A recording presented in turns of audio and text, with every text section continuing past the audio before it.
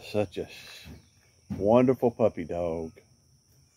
She's beautiful and sweet and ready to go to Texas, ain't you, baby girl?